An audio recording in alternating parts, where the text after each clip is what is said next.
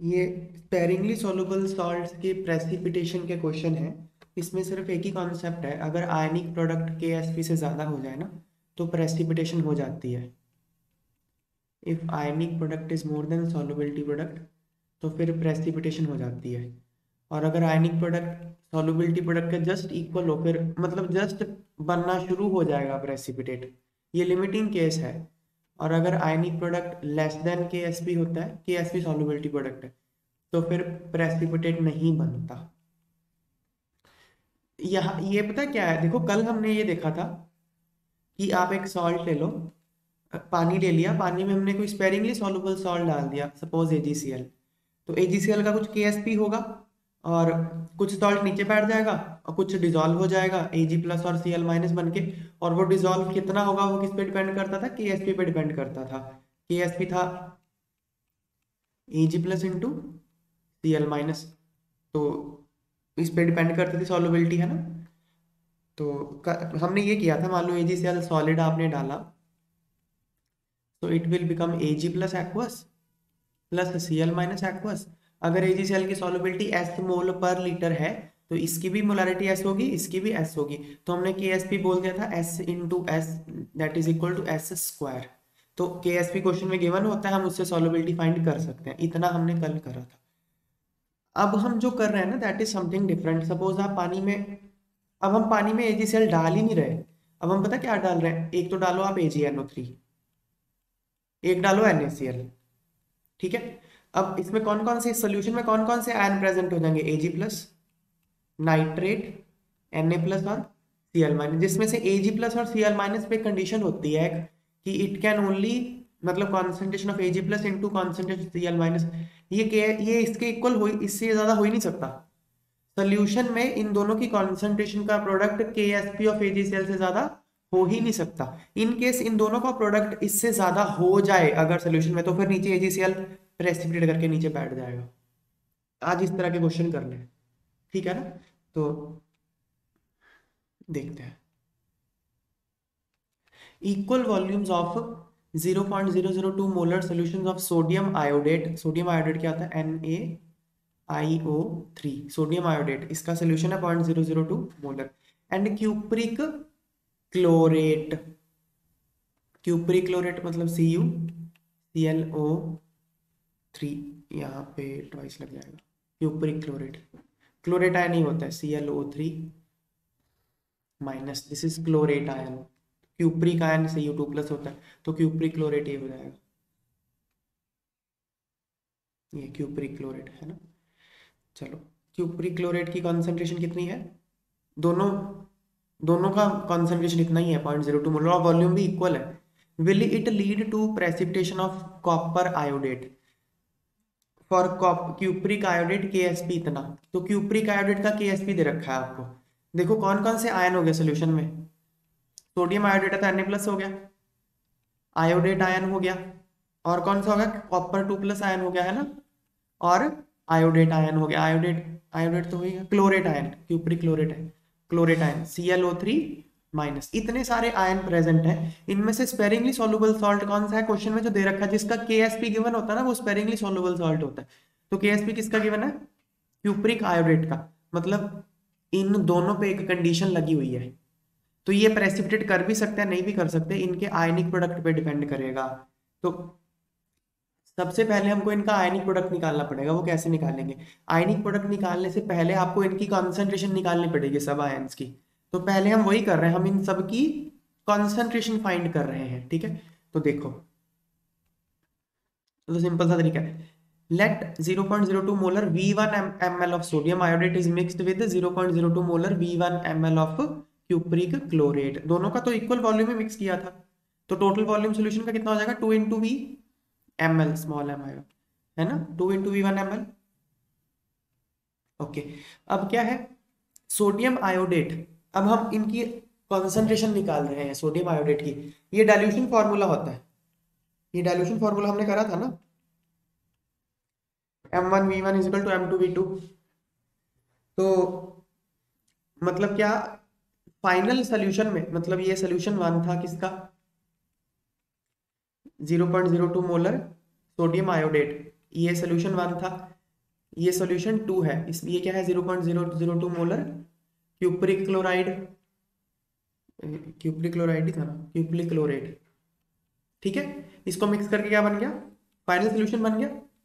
अब इसमें sodium iodide की मोलारिटी कैसे निकालोगे?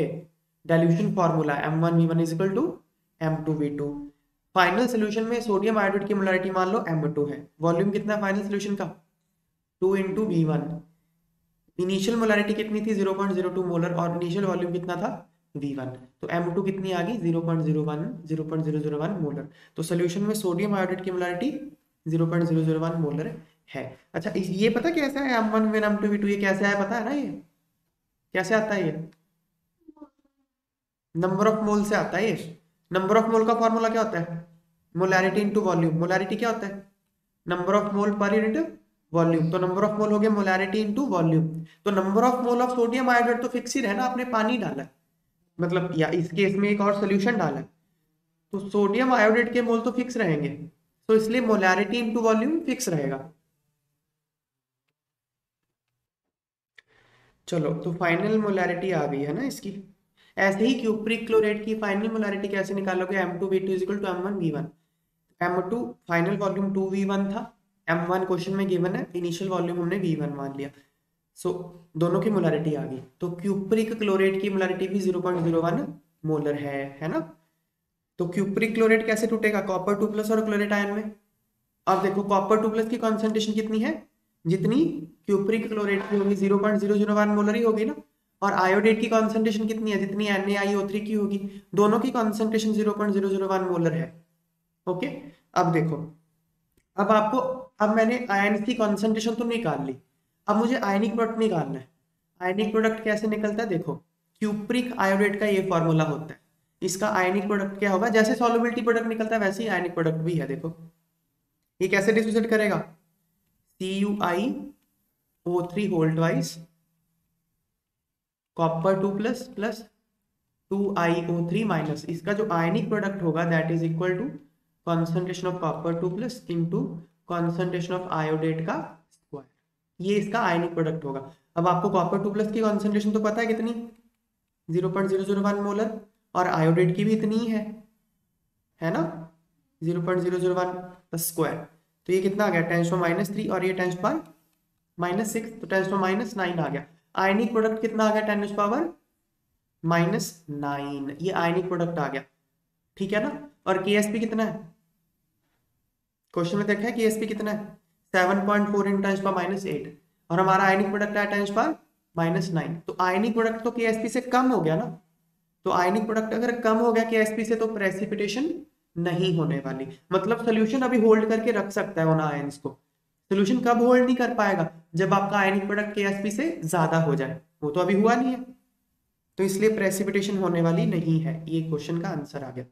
Ionic product is less than K precipitation of copper iodate does not occur ठीक है?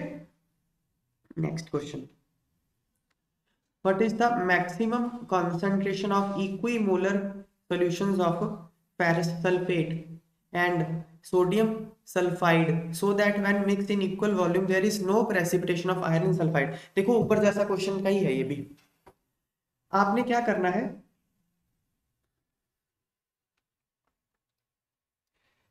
तो आपने इसमें क्या किया? देखो, आपने दो सोल्यूशन लिए हैं। एक इसका सोल्यूशन है? फेरस सल्फेट का सोल्यूशन है। F P S O four का सोल्यूशन है। एक इसका सोल्यूशन है? सोडियम सल्फाइड का। एन ए टू एस का सोल्यूशन है। इनका वॉल्यूम क्या किया? इक्वल वॉल्यूम है। इसका भी मान लो आपने वी वन एम एल ले लिया। इसका भी आपने वी वन एम एल ले लिया। और इनकी इक्वी मोलर मतलब इनकी मोलैरिटी दोनों की सेम है। इसकी मोलैरिटी भी आप एम वन मान लो और इसकी मोलैरिटी भी एम वन मान लो। इनको मिक्स कर दिया। उसने पूछा कि एम वन की मैक्सिमम वैल्यू क्या हो सकती है? ताकि इनको मिक्स करने के बाद जो आयरन सल्फाइड है FPS है, वो प्रेसिपिटेट ना हो। ठीक है? आयरन सल्फाइड का के आपको क्वेश्चन में गिवन है। तो अगेन सबसे पहला स्टेप है आपको इन सब की इंडिविजुअल आयंस की कॉन्सेंट्रेशन निकालनी पड़ेगी फाइनल सोल्यूशन में। मिक्स करने के बाद जो सोल्यूशन बन गया उसमें। तो वो डाइल्यूशन फॉर्मूला से आएगी। तो पहले हम वही करते हैं। Let v1 ml of m1 molar ferrous sulfate is mixed with v1 ml of m1 molar sodium sulfide solution का टोटल वॉल्यूम कितना हो जाएगा? टू इंटू वी वन तो मिक्सिंग के पहले। खैर मिक्सिंग के पहले तो इसकी कोई ज़रूरत नहीं है खास। एफ़ टू प्लस की कॉन्सेंट्रेशन जो एफ़ ई एस फोर के इक्वली होगी ना M one F E S तो ऐसे उठता है ना? और सल्फाइड आयन की कॉन्सेंट्रेशन कितनी होगी? जो सोडियम सल्फाइड की है, दोनों की तो एम वन हमने मानी ही है। मिक्सिंग के बाद सल्फाइड की कॉन्सेंट्रेशन क्या हो जाएगी? M two V two is equal to M one V one M two volume second solution में कितना? Two into V one is equal to M one into V one तो ये V one V one cut गया। तो second solution में जो solution है, बाद मिक्स करके बना उसमें जो मोलैरिटी है सल्फाइड की वो कितनी है? पॉइंट फाइव एम वन है ना? और ऐसे ही फेरस में भी लगा दो M one V one M two V two तो इसकी भी एम टू कितनी हो जाएगी? Point five M one mixing के। M M one V one M two V two है ना? फाइनल सोल्यूशन का वॉल्यूम कितना है? टू इंटू वी वन तो बस फिर ये कट गया। तो two into M two is equal to M one two को इधर ले जाओ M two is equal to point five M one तो मिक्सिंग के बाद एफ़ टू प्लस की कॉन्सेंट्रेशन भी इतनी है सल्फाइड की इतनी है। अब इनका आयनिक प्रोडक्ट कैसे हो जाएगा? देखो एफ़ कैसे करेगा डिसोसिएट एफ़ टू प्लस और सल्फाइड में। तो इसका आयनिक प्रोडक्ट क्या होगा? एफ़ टू प्लस की कॉन्सेंट्रेशन इंटू सल्फाइड की कॉन्सेंट्रेशन अगर आप चाहते हो कि प्रेसिपिटेशन ना हो तो ये क्या होना चाहिए? लेस देन के ठीक है ना? तो आयनिक प्रोडक्ट देखो पहले तो कितना आ गया? Point five M one into point five M one point two five M one square ये इसका आयनिक प्रोडक्ट आ गया। अगर प्रेसिपिटेशन आप चाहते हो कि ना हो तो ionic product should be less than K S P K S P question में आपको गिवन है। तो मतलब M one square should be less than this मतलब M one should be less than this मतलब हर मतलब अगर एम इससे कम होगा, आपकी जो मोलैरिटी है ओरिजिनल सोल्यूशंस की, अगर इससे कम होगी तो प्रेसिपिटेशन नहीं हो सकती। तो मैक्सिमम इतनी हो सकती है मोलैरिटी अगर इससे ज़्यादा आपने मोलैरिटी कर दी तो प्रेसिपिटेशन हो जाएगी। Okay so this is the answer this is maximum value इससे आप एक्सीड नहीं कर सकते। ठीक है?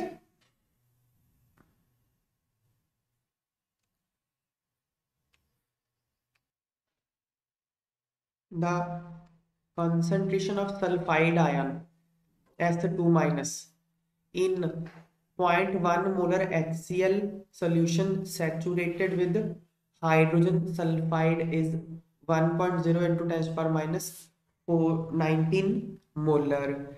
If 10 ml of this solution is added to 5 ml of 0.04 molar solution of the following, which of these solutions precipitation will take place? तो आपको इन सब का सल, इनके सबके सल्फाइड का केएसपी दिया हुआ है। देखो, इस क्वेश्चन में ना थोड़ा सा कॉम्प्लेक्स कर दिया अननेसेसरी तो दिया क्या हुआ देखो? आपको एक सोल्यूशन दिया है, जो कि point one molar H C L है और उसमें एच गैस भी है। एच भी है, सारा कुछ है। ठीक है, इस सोल्यूशन में। तो अब इस सोल्यूशन में क्या होगा? एच टू एस डिसोसिएट करेगा। टू एच प्लस और सल्फाइड में, और एच सी एल भी डिसोसिएट करेगा एच प्लस और सी एल माइनस में। तो इसमें कुछ ना कुछ तो सल्फाइड की कॉन्सेंट्रेशन होगी ना सोल्यूशन में। हमने जो अब तक क्वेश्चन करे थे ना, हम सल्फाइड आयन की कॉन्सेंट्रेशन फाइंड करते थे। इसका के ए दिया होता था तो हम फाइंड करते थे। यहाँ वो, वहाँ, यहाँ तो फाइंड करने की ज़रूरत ही नहीं है। यहाँ उसने ऑलरेडी दे दिया। कितना है? Ten H minus nineteen sulfide ion की कॉन्सेंट्रेशन उसने दे ही रखी है। कितनी? Ten raise power minus nineteen molar ठीक है ना? ओके तो ये सोल्यूशन है। अब क्या किया? Ten M of this solution इस सोल्यूशन का दस एम उठा लिया। तो दस एम उठा के किसमें डाल दिया? Five M of point zero four molar of चार सोल्यूशन अलग अलग है। आपने टोटल यहाँ चार सोल्यूशन बनाए हैं। आपके पास ना पहले पाँच सोल्यूशन थे। एक, दो, तीन, चार। ये चार सोल्यूशन अलग अलग है। ये क्या है? Five M L five M L five M L five M L concentration कितनी है सबकी? Zero point zero four molar zero point zero four molar zero point zero four molar zero point zero four molar zero point zero four molar एक है? F S O four एक है? M N C L two एक है? Z N C L two एक है? C D C L two ठीक है? तो इसमें आपने क्या किया? इन सब का दस दस, इस, इन सब में इसका टेन एम डाल दिया। तो इसमें दस एम ऊपर वाला सोल्यूशन सब में मिला दो दस एम ऊपर वाला सोल्यूशन ठीक है ना? तो टोटल वॉल्यूम कितना हो जाएगा सोल्यूशन का? पंद्रह एम हो जाएगा ना? ओके अब उस पंद्रह एम सोल्यूशन में क्या क्या है? सबके सल्फाइड आ जाएँगे ना? सल्फाइड आयन आपने डाल दिया ऊपर से। तो एफ़ तो देखो सल्फेट से कोई मतलब नहीं आपको। सल्फेट से, क्लोराइड से कोई मतलब नहीं है। एफ़ प्लस से मतलब है। तो एफ़ प्लस भी हो गया और सल्फाइड भी हो गया। तो आयरन सल्फाइड के प्रेसिपिटेट होने का चांस बन सकता है। तो आपको सारे सल्फाइड्स की के दी हुई है। आपको ये बताना है, इनमें से कौन सा सल्फाइड प्रेसिपिटेट कर जाएगा? तो बेसिकली आपको पहले आयनिक प्रोडक्ट ही निकालना है। ठीक है? आयनिक प्रोडक्ट निकालने के लिए आपको पहले इन सब की, जैसे एफ़ प्लस की और सल्फाइड की।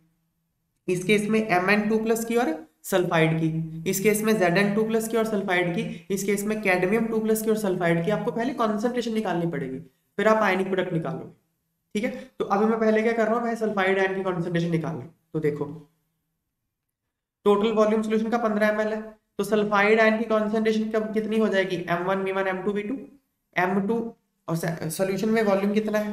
पंद्रह M L M one one into ten minus nineteen इतनी थी ना सल्फाइड की कॉन्सेंट्रेशन और वॉल्यूम कितना था? टेन एम एल तो एम टू कितना हो जाएगा? Six point seven into ten square minus twenty ये सल्फाइड की कॉन्सेंट्रेशन है जब आपने सोल्यूशन को मिक्स कर दिया। ठीक है ना? ओके अब एम टू प्लस की कॉन्सेंट्रेशन एम टू प्लस मतलब ये F E two plus M N two plus zinc two plus और कैडमियम टू प्लस इन चारों की कॉन्सेंट्रेशन एक, एक जैसी ही है ना सबकी? तो जब मिक्स कर दोगे तो M two V two M one V one M two into volume है पंद्रह एम एल इनिशियल मोलारिटी कितनी थी सबकी? पॉइंट ज़ीरो फोर थी सबकी पॉइंट ज़ीरो फोर थी।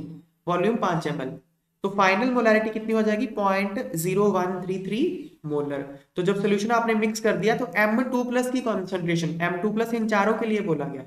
ठीक है? मतलब क्या? यहाँ पे आयरन टू प्लस की कॉन्सेंट्रेशन कितनी है? Zero point zero one three three यहाँ पे एम एन टू प्लस की concentration zero point one three three मतलब क्या? सबकी एक ही है, क्योंकि डाटा सबके लिए सेम था ना, इसलिए एक साथ कर दिया। समझ में आई बात? ओके अब क्या है? आयनिक प्रोडक्ट आयनिक प्रोडक्ट निकाल दो। आयनिक प्रोडक्ट क्या आएगा? देखो, ये सारे के सारे सल्फाइड ही बनाएँगे। देखो, सारे के सारे डाइवेलेंट आयन है। सारे के सारे डाइवेलेंट आयन है ये। जैसे एफ़ ये एफ़ बनाएगा। तो एफपीएस का आयनिक प्रोडक्ट क्या होगा? एफ़ टू प्लस और सल्फाइड तो इसका आयनिक प्रोडक्ट क्या होगा? Concentration of F two plus into concentration of sulphide ऐसे ही ये मैंगनीज टू प्लस है, ये क्या बनाएगा? मैंगनीज सल्फाइड बनाएगा। इसका आयनिक प्रोडक्ट क्या होगा? एम टू प्लस और सल्फाइड मतलब concentration of M two plus into concentration of sulphide ऐसे ही Z N two plus cadmium two plus सबका आयनिक प्रोडक्ट सेम ही आएगा। इन जनरल लिख लो एम टू प्लस क्योंकि सारे डाइवेलेंट है। M two plus into sulphide इन सबका आयनिक प्रोडक्ट सेम ही आएगा। एम टू प्लस की कॉन्सेंट्रेशन और सल्फाइड की कॉन्सेंट्रेशन सब में सेम ही है। इतना आयनिक प्रोडक्ट आ गया। अब आप कंपेयर कर लो। ये जो आयनिक प्रोडक्ट है, अगर तो ये के से कम है तो तो प्रेसिपिटेशन हो जाएगी। अगर ये के से सॉरी अगर ये के से कम है तो प्रेसिपिटेशन नहीं होगी। और अगर ये के से ज़्यादा है तो प्रेसिपिटेशन हो जाएगी। तो क्वेश्चन में जो गिवन डाटा है, उसमें एफ़ और एमएनएस का आयनिक प्रोडक्ट के से कम है, देखो। एफ़ और एम का देखो। ये एफ़ और ये एम हमारा आयनिक प्रोडक्ट कितना है, देखो। आयनिक प्रोडक्ट कितना आ गया? एट पॉइंट नाइन इंटू टेस्ट पर minus twenty two eight point nine into ten पर माइनस ट्वेंटी टू तो ये तो इन दोनों से तो ये कम ही है ना? नहीं समझ रही बात? इन दोनों वैल्यू से कम है। तो अगर इन दोनों से कम है तो ये तो प्रेसिपिटेट नहीं होने वाले, है ना? और ये इन दोनों से ज़्यादा है। आयनिक प्रोडक्ट इन दोनों के केएसपी से ज़्यादा है। तो ये दोनों क्या कर जाएँगे? प्रेसिपिटेट कर जाएँगे। तो जिंक सल्फाइड और कैडमियम सल्फाइड प्रेसिपिटेट कर जाएँगे। ये बात है। समझ में आ गई बात?